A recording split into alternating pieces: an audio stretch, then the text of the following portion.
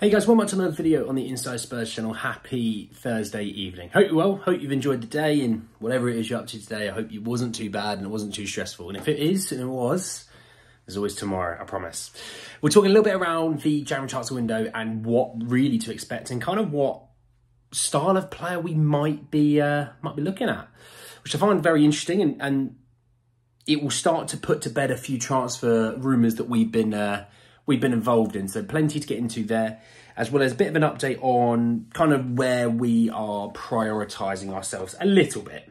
Not a lot, but a little bit, okay? So plenty to get into, plenty to digest. Just want to say if you're new, subscribe. You're very much welcome to join the journey. There you go. I know you did it. You're too kind.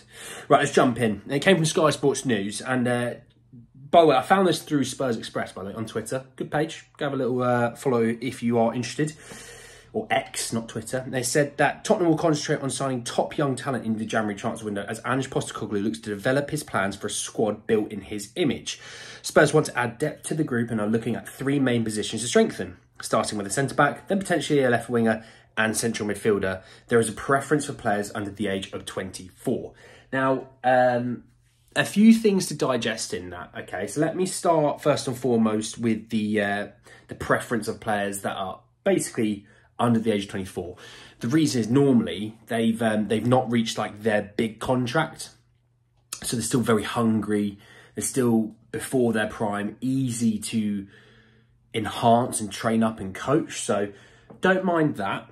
And yeah, when we look at the fact they want to add depth to the group, looking at three main positions to strengthen, being centre back, left wing, and central midfielder, I think in that order is where no, I'd probably say central midfielder ahead of left left winger, but I'd say in theory the centre back will be the main position we need to look at sorting out ASAP. It's not one of those that let's leave it to the 28th of January because by that point we've probably dropped quite a few more points.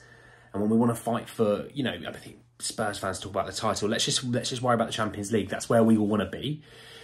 And if we want to be in there, then we've got to be honest, then we've got to actually act in January, getting the positions that we really truly need. And centre back being probably the top of that list purely because of the fact that we've got Romero, fantastic. We've got Mickey, fantastic, but injured. And that's about it. So we need at least one more to give us a little bit of depth before we hit a Emerson, Davies, Phillips, Dorrington, Dier situation, right? On the central midfielder, you all know, and I all and I all know, but I know that we need one because obviously Bissouma's off to Afcon and Pape Matar's off to Afcon. Maddison's injured, Bentancur's injured. We've got four people gone fairly long term because the Afcon boys can go up to about six, seven weeks. Uh, Maddison won't be back probably till well into January. Bentancur won't be back probably into March. So when you look at that, it's like, right, okay, we, we need a centre midfielder because when you look at it, you got Gio, happy with Gio. You got Pierre, I'm happy with Pierre in spurts. And then you got Skip. I think we need a centre mid, don't you? Yeah. Uh, and then when you look at the attacker situation, you're losing Son for obviously that time away of international duty. So you're looking six, seven weeks potentially, maybe. You've got Richie, who's probably going to be playing the Son role. You've got Kulusevski, Mr. Iron Man himself playing right wing. You've got Johnson playing left wing. So it's not a huge dip, but then you've got behind him, you've got Bryan Gil. You've got Solomon, who I hope will be back within that realm of time of being January, February time. And then you've got nothing really else. So you see, we still need another one there. And that's why, you know, when Sky Sports News talked about how Spurs are looking at Samuel Iling Jr., this is what I need you guys to understand. We are definitely looking at Samuel Iling Jr. It's not something that is hogwash or a bunch of nonsense. We are definitely in the Samuel Iling Jr. market. We need something there. We need some form of attacker. We need a left wing attacker. It's not a right wing attacker that we need. We need a left wing.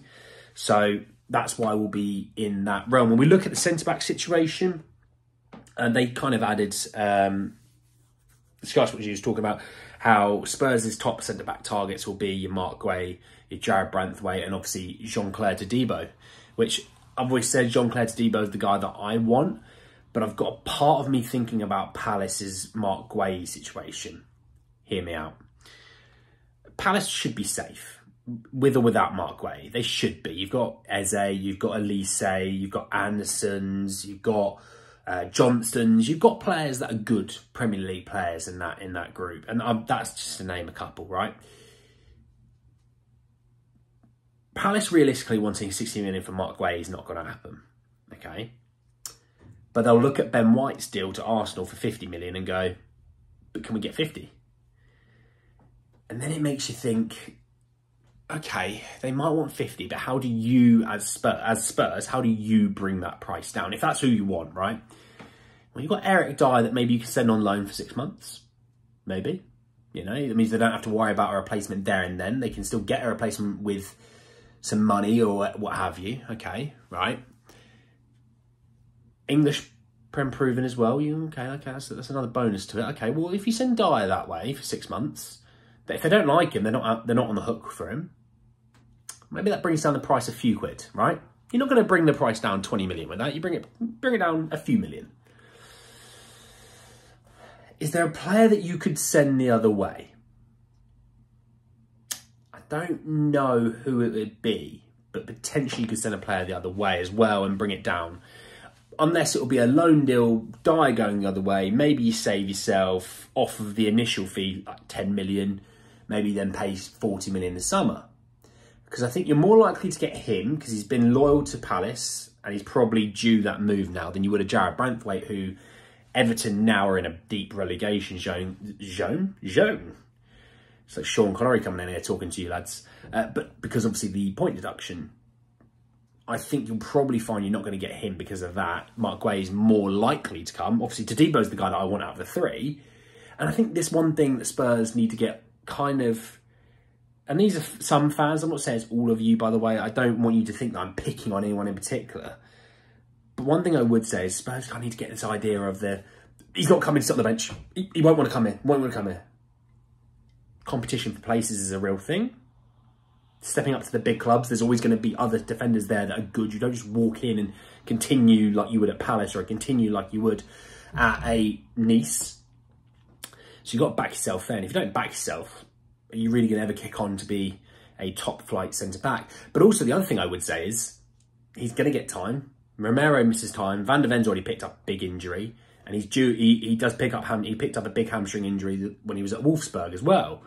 But also not only that. Again, next season we're playing twice, three times a week, you're gonna get game time, and we need to get this idea of we've got two main centre half, then we have backups. No, just have four centre halves. Doesn't have to be a backup situation. Have four centre halves who you want to play Romero and Van de Ven that time. You want to play this guy and this guy another time. And you want to play this guy and Romero another time. Get an idea around your head that that could be an idea. That's how big clubs do it. That's how, I mean, you look at Arsenal. Ben White's playing right back, but he's a centre half. Gabriel, Saliba, right? Um, obviously, Jurrien Timber's another one in there as well. Quite, I quite like Timber as well. You look at Manchester City, Gvardiol, who's playing left back. Nathan who plays a little bit of left back as well. You've got Stones, who's playing centre defensive mid at the moment, which is a bit mental. You've got um, Akanji, you've got Ruben Dias. You know, Liverpool have got Konate, Matip, Van Dijk. Van Dijk's the main guy there, but those two inter interchange a lot. And obviously, I heard Matip's done a big injury, uh, like, like, I think it was yesterday. So Konate's playing a bit more there. Joe Gomez might play a little more in the centre half area. He played right back. So you can see you, you're supposed to have options. We can't just have two guys and then a massive drop off. That's not a good team, you know. But anyway, guys, I hope you did enjoy. Drop a like on the video if you did. Hit me in the comment section your thoughts and about what player clientele that we're looking at. The news that we're definitely in for Samuel Iling Jr. as well as the list of centre halves that we've been interested in. I want to know your thoughts and feelings about them all. Subscribe to the channel if you're new and hit the bell notification for more. But anyway, guys, in the video. I'll see you all very, very soon. Take care, guys.